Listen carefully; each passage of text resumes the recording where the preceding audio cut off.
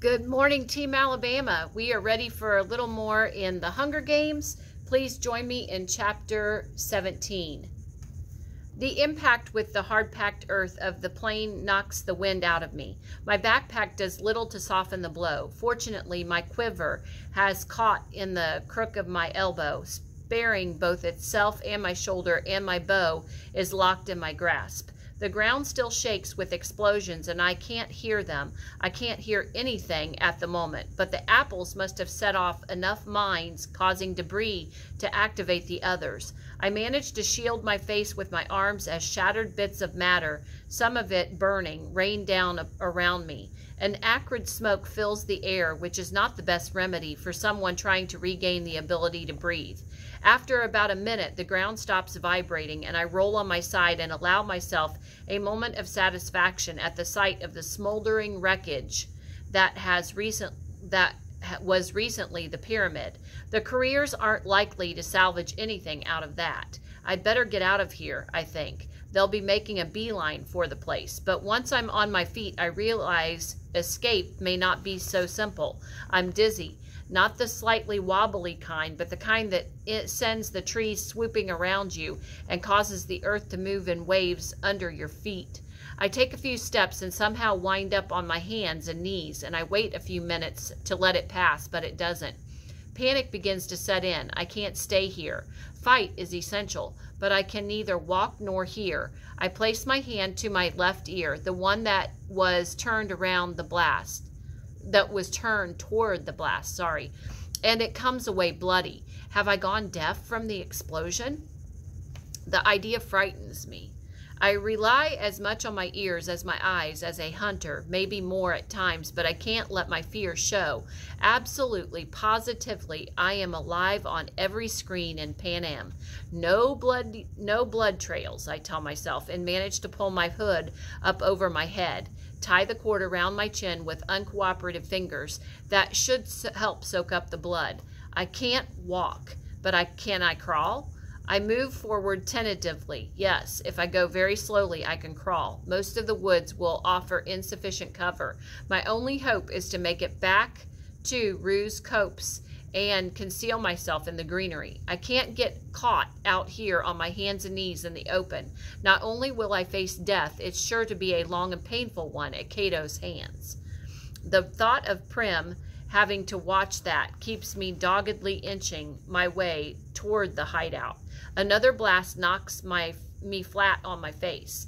A stray mine set off by some collapsing crate this happens twice more, and I'd reminded I'm reminded of those last few kernels that burst when Prim and I popped corn over the fire at home. To say I make it in the nick of time is an understatement.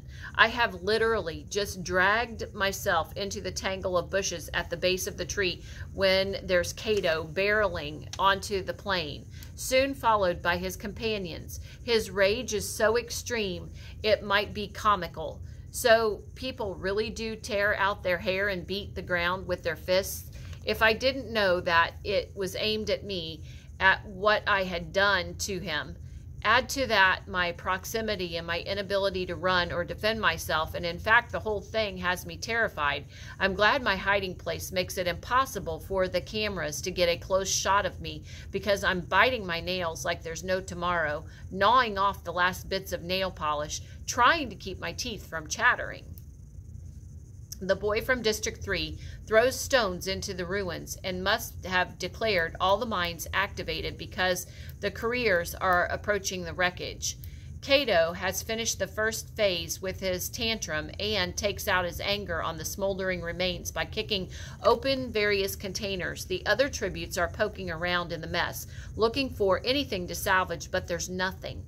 The boy from District 3 has done his job too well. The idea must occur to Cato too because he turns on the boy and appears to be shouting at him. And the boy from District 3 only has time to turn and run before Cato catches him in a headlock from behind. I can see the muscles rip in Cato's arm as he sharply jerks the boy's head to the side. It's that quick. The death of the boy from District 3. The other two careers seem to be trying to calm Cato down. I can tell he wants to return to the woods, but they keep pointing at the sky, which puzzles me until I realize, of course, they think whoever set off the explosions is dead. They don't know about the arrows and the apples. They assume the booby trap was faulty, but that the tribute who blew up the supplies was killed doing it. If there was a cannon shot, it could have been easily lost in the subsequent explosions. The shattered remains of the thief removed by hovercraft. The, they retire to the far side of the lake to allow the games makers to review the body of the boy from District 3 and they wait. I suppose a cannon goes off, a hovercraft appears and takes the dead boy. The sun dips below the horizon and night falls.